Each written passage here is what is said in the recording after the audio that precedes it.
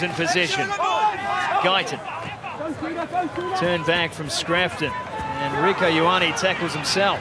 He's about the only person who can tackle him.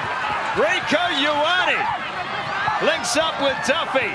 Duffy one pass. Can he go on his own? He will, Matt Duffy. How about that from Rieko Ioane and the support play from the Blues' new fullback? It's, geez, Rieko Ioane. How good is he? It's a little we fake that. Fall over. Everyone thinks, oh, he's lost his balance. Bam and go. What about the pass at pace? Straight out of Gordon Tietjens' Sevens program, and then Duffy had enough. One on the outside to Lungi Visania said, You've already got one. I'm going to take one for myself. Look at this. Step one, brush another, fend off both sides. Yamashita's had a couple of minutes to forget. Yeah. Hiroshi Yamashita be a little disappointed about that one. I don't think he really even got a touch